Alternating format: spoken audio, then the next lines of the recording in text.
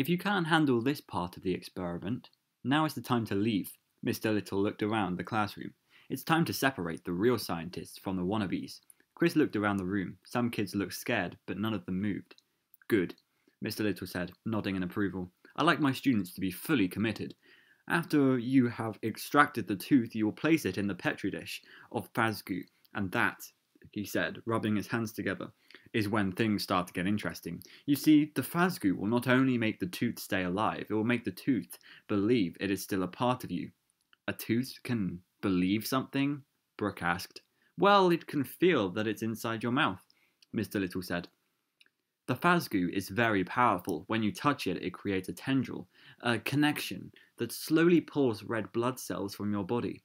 The blood cells uh, feed the Phasgu and fuel the experiment. And here's the amazing part. Over the course of several hours, nourished by just a few of your blood, red blood cells, your tooth will grow gums, will form a full mouth, and that mouth will open up and tell you something that I promise, no matter how old you live to be, you will never forget. Chris looked around at his classmates, all of whom were wearing an identical look of disbelief. You'll see, Mr. Little said looking around at all the stunned faces. It will be amazing. Once the mouth has told you what you need to know, it will die. Okay, I- am assuming this is where the the name "He Told Me Everything" uh, comes from. Um, I have provided a biohazard bag in each cubicle. You will dispose of the mouth and the phasgu in the bag. After you have brought me the bag so I can dispose of it correctly, you are free to go. Mr. Little looked toward the classroom door and smiled. But first, pizza! He waved for the pizza delivery guy to come in. You have 30 minutes to eat, drink, and socialize, Mr. Little said. But after that, it's time to get to work. Chris grabbed a couple of cheese slices and a paper cup of soda and sat down with Sam, Brooke, and Malcolm. I guess this will be the last pizza I chew with my left back molar, Malcolm said, but he sounded more amused than scared. I'm a little worried pulling one of my teeth will mess up my orthodontia. Brooke, who had a mouthful of braces, said, Oh my gosh, you have to do it with braces? Uh, yeah, your orthodontist, your orthodontist is going to be mad, Sandstead. Will your parents be mad too when they find out? Brooke shrugged. Not if I tell them it was a science club assignment. They'd let a they'd let me saw off my own arm if they thought it would improve my chances of getting into a good college. My parents would too, Malcolm said, and they all laughed. They'd let me saw off both my arms if it would get me into the Ivy League. My mum would be totally mad. Sandstead. Uh, Brooke laughed. Oh, she will, won't she? I forgot. Forgot what? Chris said. Brooke laughed some more, but managed to get out. Sand's mum is a dentist. After they laughed some more, Malcolm said, that reminds me, Chris, I don't believe you said what your parents do for a living. Chris felt a flutter of panic in his belly. He couldn't possibly tell them that his mum was a cashier when people paid their electric bills, and that his dad fixed people's cars. Um, my mum is an electrical engineer, and my dad is a mechanical engineer. Wow, two engineers for parents? Sand said. You must be really good at math. Chris nodded. This part, at least, was true. Okay, Mr. Little called. Time to get to work, scientists. Chris was glad that he hadn't revealed to Sam, Malcolm, and Brooke that he was going to perform the experiment without having to pull his own tooth. He couldn't let anybody know that he had figured out a way to game the system. Chris entered his cubicle and filled the petri dish with Phasgu as instructed. Within a couple of minutes, he could hear grunts and groans as the students in the other cubicles laboured to pull out their teeth. In the cubicle nearest him, he heard a scream, followed by a sickening popping sound as the tooth released from its roots. Chris figured that for the sake of realism, he should grunt and groan a little too. He faked it for a few minutes, very believably, he thought, and then he reached into his pocket and pulled out his ace in the hole. The sight of his mum about to pull his sister's tooth the other night had made him remember that when he was little he had declined money from the tooth fairy in order to keep uh, all his old baby, baby teeth. He didn't know why he hadn't been willing to let them go, especially for cash, which was hard to come by in this family, he had been a weird little kid, but now that weirdness was paying off. Chris submerged his old baby tooth in the phasgu. When he touched the goo, he felt he, he sorry, he thought he felt a slight sucking sensation in his fingertips. He pulled his hand away, but a tendril of pink slime connected his index finger to the petri dish with his tooth in it. The tendril was stretchy, like mozzarella cheese when you lift the first slice from a hot pizza. Now there was nothing to do but wait for the tooth to get what it needed from him. He lay down on the cot, making sure not to break the tendril that connected his finger and the phasgu. Chris closed his eyes and let himself doze. Soon he was dreaming of future successes. He saw himself as though he were a character in a movie, opening the letter granting him a full scholarship to an Ivy League university. He saw himself doing research in a lab at the university. The lab was bright and clean and filled with the most cutting edge equipment. A distinguished professor in a white lab coat stood behind him and looked over his shoulder, smiling at the good work he was doing. Chris saw himself in a black cap and gown, walking across a stage. The university professor handed Chris his diploma, and Chris smiled to have his picture taken. But when Chris smiled, it was immediately clear that something was wrong. Blood dripped from his lower lip down to his chin. His mouth was a black cavern framed by a bloody mess of gums. Somebody had pulled all of Chris's teeth. Oh my god! Oh! Oh! Chris startled awake. Oh yeah, this is. Sorry, I kind of zoned out and I forgot it was a dream. Yeah, Chris started awake. Silly me. Of, of course, I'm the only person who would do that, who would forget that that was a dream. I have really bad short-term memory loss. Um, he was disorientated uh, at first, waking up on a narrow cot in a cubicle, but then he saw the tendril strung between his finger and the petri dish and remembered where he was and why. Sitting up, Chris heard movement and whispering coming from the other cubicles. Could the whispering be coming from the mouth that this experiment was supposed to create? Chris pressed his ear, ear into the petition in hopes of making out what was being said, but no words were discernible.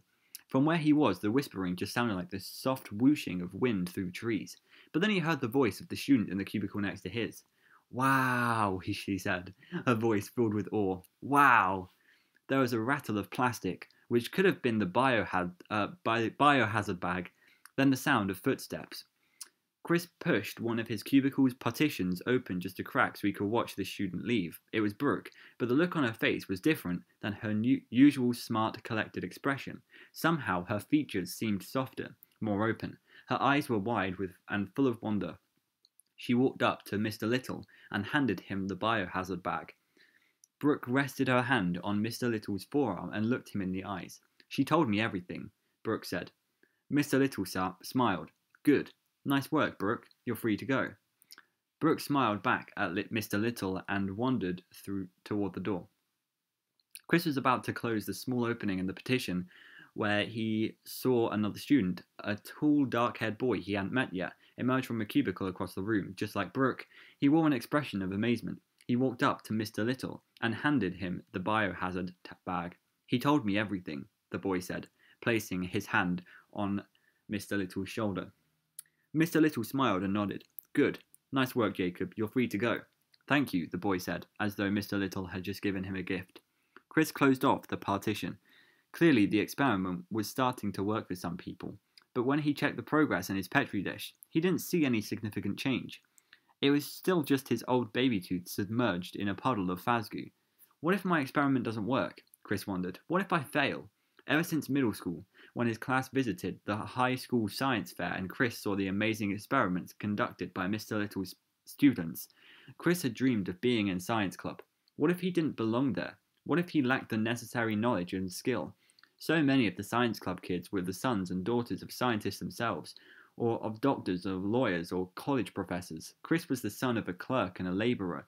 Maybe he wasn't of the right stock to make the grade in this intellectual environment. Suddenly, Chris felt drained, depleted. Maybe this meant the phasgu was draining him of all the energy it needed to make the experiment work, or maybe it was just the feeling of him giving up hope. Uh, either way, he was exhausted. He lay down on the cot again and fell asleep instantly. Chris woke up groggy with his face in a puddle of his own drool. His surroundings were strangely quiet. No whispering, no sounds of movement. He sat up and wiped away the drool. The, den- the tendril on his index finger reminded him to check his experiment's progress. Maybe it was finally working.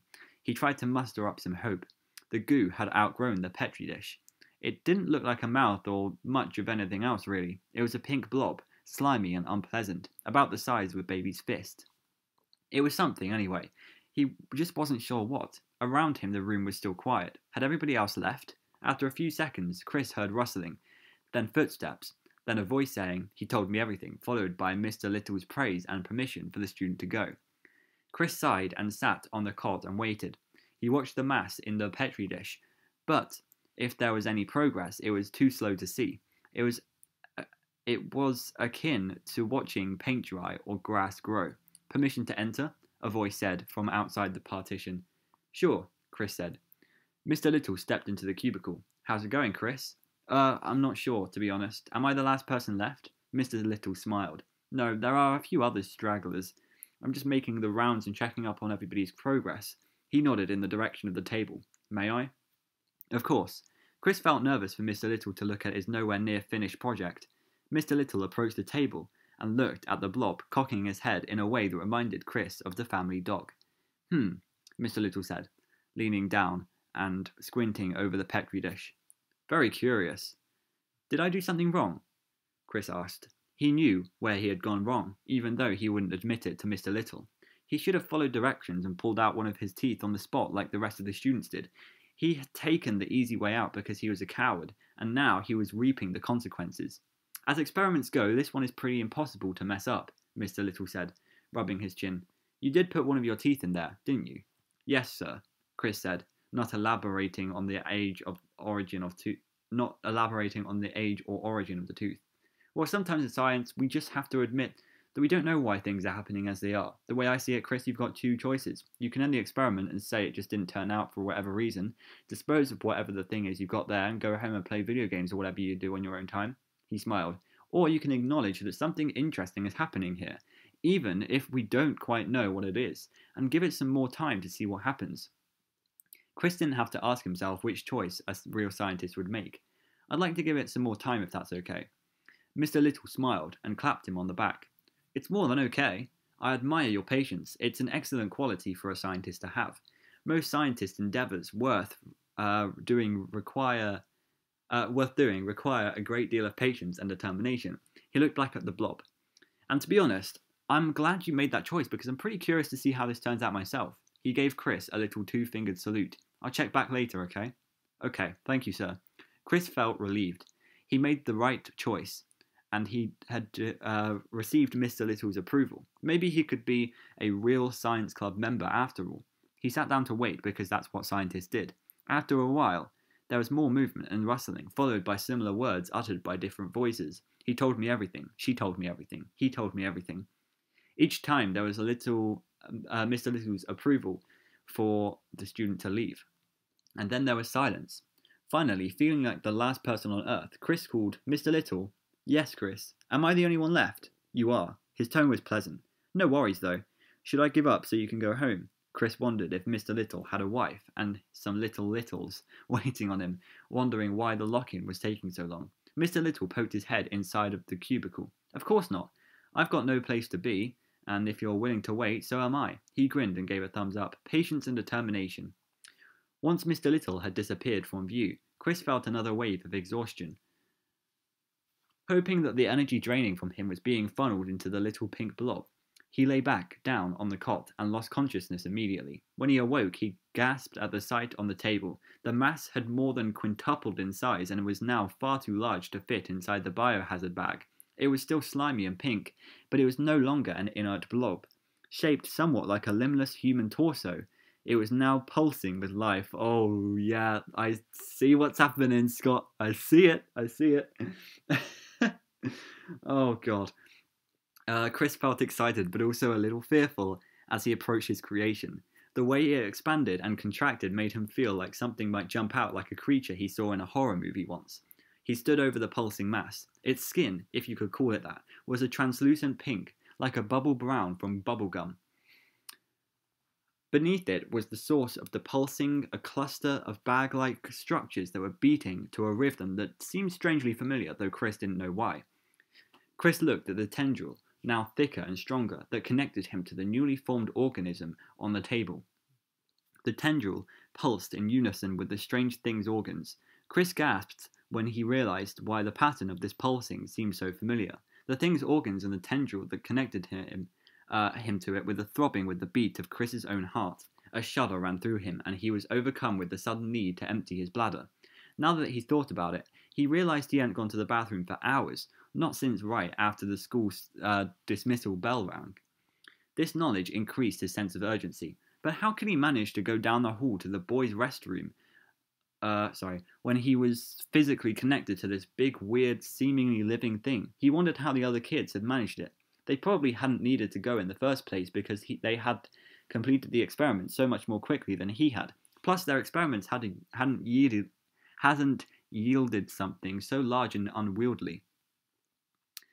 Just as Chris decided he, that he was desperate enough to call for Mr. Little and make the pathetic confession that he needed to use the restroom but didn't know how, the pressure in his bladder disappeared. He looked over at the thing on the table which expelled a large amount of fluid that hit the floor with a splash. Oh my god. wow. Was this that was that his pee? And what was it doing over there? Chris knew he should have been embarrassed. He was pretty sure he had just peed on the floor of his science classroom, after all a big no-no if there was there ever was one. But mostly he was just confused. Wasn't his pee supposed to come out of his own body? He looked at the tendril. Now even thicker and stronger. It was a tube connecting his body to the thing, feeding like it was the umbilical cord that connects a mother with her unborn baby. Maybe his pee had travelled from him through the tube to be expelled by the thing on the table. But why? He watched the thing pulse some more. Whatever it was, he didn't like it, and he didn't like being connected to it. He didn't like knowing he was letting it leech his energy so it could grow bigger and stronger while he grew more exhausted and weak. It was time to cut the cord. The problem was, he didn't have anything to cut it with. He looked around the almost empty cubicle and spotted the unused pliers. They weren't as good as a knife or a strong pair of scissors, but they were still better than trying to sever, uh, sever the cord with his bare hands. He could use the pliers to grip and squeeze the cord, then give it a hard yank to tear it apart and break the connection. He poised the pliers to grab the tendril just above where it connected with his left index finger. Then he squeezed. It felt like somebody was choking the life out of him. Pinching the tube cut off his air supply somehow, and he fell to the floor, gasping, landing in a puddle of what was most certainly his own urine. He released the tendril from his pliers, and his breath started to come back. He was too lightheaded to get up quickly, so he lay on the wet floor for a few minutes, panting like an overheated dog. Was there no way to end the connection between him and the disturbing result of the experiment, or were he and his creation bound together like conjoined twins who shared a vital organ? He pulled himself up and willed himself to look at the mass on the table. The torso had lengthened, and the small pink buds were visible where the arms and legs should have been. Somehow, while he hadn't been watching it, a neck and a head had formed. The head was hairless, featureless, horrifying. Chris backed away slowly, bumping into the cot. He didn't want to look at the thing anymore, but he couldn't look away either. It radiated a horrible fascination, like a gory accident on the side of a highway. He sat on the cot and looked at it until he realized his vision had become blurry and indistinct. It was strange. He had never felt, uh, he had never had trouble with his eyes before. He put his hand over his right eye, and suddenly it was like the world had been plunged into blackness. He, re- he reached up to put his hand over his left eye, and what he found there made him cry out, of, out in horror. His left eye was gone. Huh. It was impossible, of course. The loss of red blood cells and his level of anxiety must have been disrupting his perceptions, making him paranoid, making him think he was hallucinating. He reached up for his left eye again, but felt only the gaping, empty socket. Impossible, he told himself again. But then he looked up at the tendril. Inside the translucent tube, an orb travelled away from Chris and toward the evolving pink form on the table. The orb was being pushed along by the tendril's pulsations. It was the size and shape of a human eyeball. What the?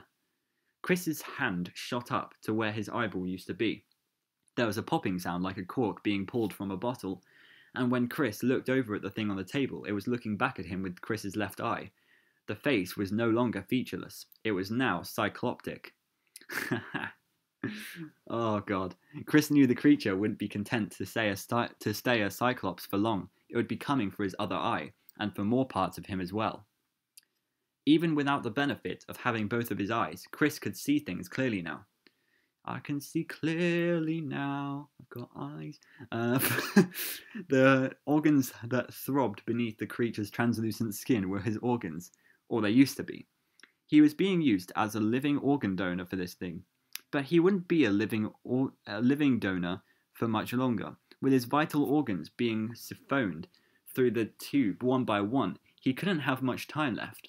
Chris pulled on the tendril, trying to rip it from his body, but it was connected as solidly as his fingers were to his hand, and gripping the tube constricted it and made him lose his breath. He tried to get up with a vague, hopeless thought of running to where it used it, uh, to where he could get help, even if it meant dragging the thing behind him like a broken kite on a string. But he found himself too weak to stand. But he still had a voice, didn't he? There was nothing to do but scream. Help! he yelled with a voice that was thinner and weaker than he would have liked it to be. Help! Mr. Little! Anybody! I'm over here! Help me! His cries for help were met with silence. Now that all the other students had gone home, had Mr. Little gone home too? Would he have left without saying goodbye, without giving Chris permission to leave as well? Chris could not remember ever having felt so utterly alone. The yelling had tired him out. Everything tired him out. His muscles felt non existent, and his arms and legs were as floppy as overcooked noodles. He sank down on the cot. He needed to think of a plan, a way to escape, but weakness and fatigue overtook him. He didn't mean to fall asleep, but he wasn't strong enough to fight the wave of exhaustion that swept over him. When he awoke, he opened one, his one eye and saw the thing sitting on the edge of the table across from him. Except it wasn't just a thing anymore.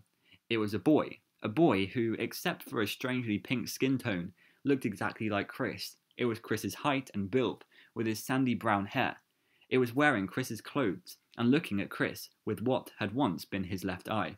Did that mean Chris was naked? He looked down at his reclining body and quickly saw that it didn't have enough structural integrity to support clothes. Chris's body was devoid of muscles and bone. He was just a mass, a blob. He had no idea how he could still be alive, how he could still be aware with so much with so little of him left. There was no way he could hold out much longer.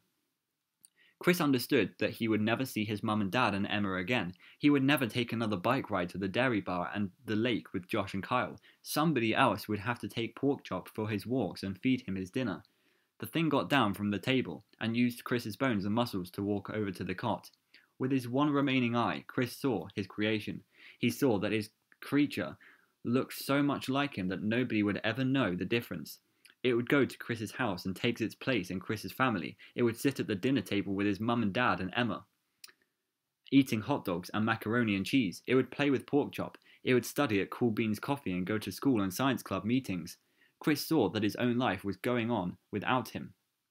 Chris struggled to speak. His throat and mouth were as parched as a desert, and he was pretty sure his lips were gone. It was hard to make himself heard. Listen, his voice finally came out as a croak. My mum and dad, they're going to love you because they love me. Be nice to them. He stopped to try and catch his breath. Breathing used to be so easy, he never even thought about it. Be nice to my sister, too. She's a good kid. A Girl Scout. She's your sister now. The words were hard to get out, but he had more he needed to say. Mrs. Thomas, our neighbour. She's old. She's a nice lady. Help her when you can. And play with pork chop. The creature furrowed its brow, looking confused. I am to play with a pork chop? I love that voice.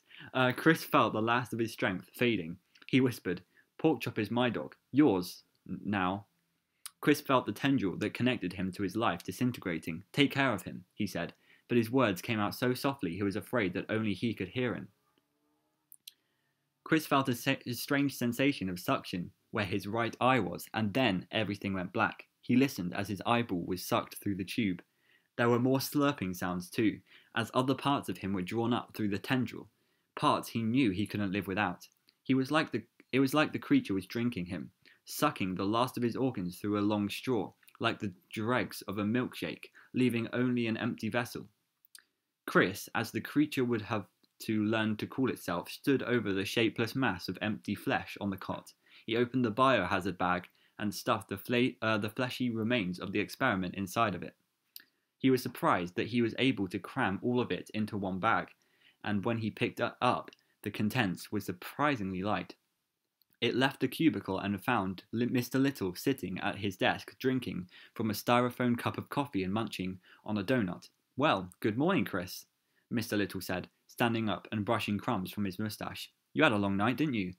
But don't keep me in suspense. Did you finally complete the experiment? Did you get the results you wanted? The new Chris's eyes were wide and full of wonder. Soon he would be stepping out of the classroom and out of the school and into the world for the first time. Chris handed the biohazard bag to Mr. Little. He looked into the teacher's eyes and smiled. He told me everything, he said. As Chris walked outside the school building, the sun was warm on his face. The sky was blue, the clouds were white and fluffy, and birds chirped in the trees. Chris smiled. It was a beautiful day. Oh my god, okay. That's creepy. That's creepy. That's very good. I like that. Um, gives me uh, Lonely Freddy vibes, of course, uh, for very obvious reasons. Also, kind of gives me the new, um, yeah, the new kid vibes. Um, because of um, you know, the ending, um, where like Kelsey is. It's really hard to explain. Uh, I don't know how to explain the ending to you, but like Kelsey starts a new life um, as like possibly in a new body. It's so strange. Oh my god. I really like this. I, I just wonder what all these stories are trying to tell us about the lore, if anything. Uh, I mean, it was a very good story, but if there's any lore aspects, I have no idea what. Um, something transforming into something else? Huh. I don't know. I really don't. Um, but the story as a whole, that's my favorite of the cliffs, definitely. Um, that that was definitely my favorite. Um, it was a very good story. Um, it, it must be one of my favorites. It must be up there. If you guys want to, by the way, if you guys want to see me do like me rating all the stories, um, then I will I will do that. Um, actually, I might do that this week. Uh, I might do uh, me rating all of the Fazbear Fright stories from best to worst, you know, uh, or a tier list. Um, anyway, that was such that was a very very good story. I am baffled at how good that was, um, and how creepy it was. Um, I don't I I can't think of any lore significance. I just can't. I'm so glad that it it doesn't look like it's Chris Afton. I'm so happy with that. Imagine if Chris Afton was a thing. Anyway, that is it for um, he told me everything. Um, that he told. Oh, that's that's a theory I have about this story in particular. Sorry, I, I know I'm going to continue for a while, but that's theory because what if? Just hear me out. What if every child went through the same thing? Hmm. Wouldn't that be so weird? Because technically we don't know if um, if the other children uh, went through the same thing or not. Um, but that could be a possibility. The reason I don't think that that is going to be the actual thing is because everybody else put in a tooth, uh, their real tooth, and um, Chris put in his finger with his baby tooth. Um, so it, it was like his fault. Um, but yeah, uh, anyway, I'm gonna end it. Got to end it. Um, the next story I'm doing is, of course, the Stitch Wraith, and then that is the Cliffs done in two days. In two days, I finished an entire book. I'm so happy with that. Um, the Stitch Wraith is actually a really, really long Stitch Wraith story this time, so I'm going to be excited to read that. Anyway, we will be reading that very soon, and I will see you then. Goodbye.